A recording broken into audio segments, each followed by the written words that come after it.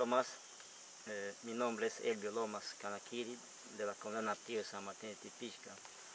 Soy natural de esa comunidad. Bueno, un poco para comentarles la, historia de, nuestro sector de la cuenca Samiria. La reserva es grande, tiene 2.080.000 hectáreas eh, y tiene cuatro cuencas. Y una de las cuencas es Samiria, donde yo vivo, dentro de la reserva. Bueno, en ese sector bueno, exactamente venimos pasando muchas, muchas, muchas este, causas sobre la contaminación del petróleo en el sector porque estamos ciertamente colindando con una quebrada que está desde la base a la comunidad de San Martín Tipisca y ninguna autoridades se han preocupado por nuestra situación de nuestro lugar.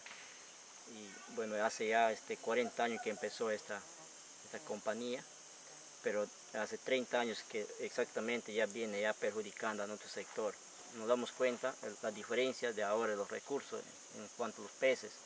En esa época había muchos peces de ese sector que salía, pero luego cuando ya funcionaba esta base petrolera, se totalmente ha disminuido el 90%, el 90 de este recurso y es viene afectando a nuestra comunidad y lamentablemente que nosotros no podemos ni siquiera saber si eh, los cuerpos de, los, de las personas estamos enfermos, porque no pasamos consulta médica y no sabemos exactamente, pero lamentablemente estamos en una zona mm, aislado y que poca atención tenemos nosotros en ese sector.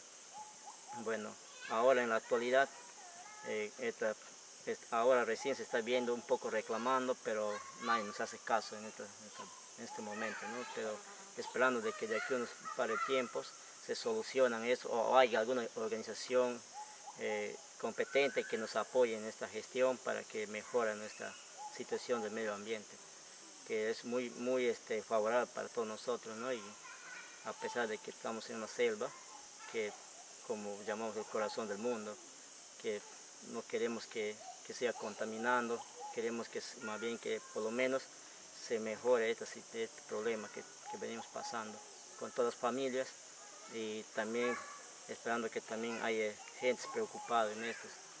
Bueno, más bien agradecerles a ustedes, Tomás y, y Miguel, por la visita que hemos tomado tan largo en este viaje y agradecerles mucho a ustedes más bien.